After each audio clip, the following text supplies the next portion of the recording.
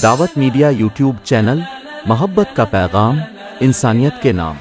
अब आइए इसके बाद एक नज़म पेश करने के लिए उमैमा अंसारी रिहान अंसारी अनाबिया अंसारी नोमान अंसारी वाय और नज़म हम लोग मुसलमान बच्चे हैं पेश करें। असलकम वरहमल वर्क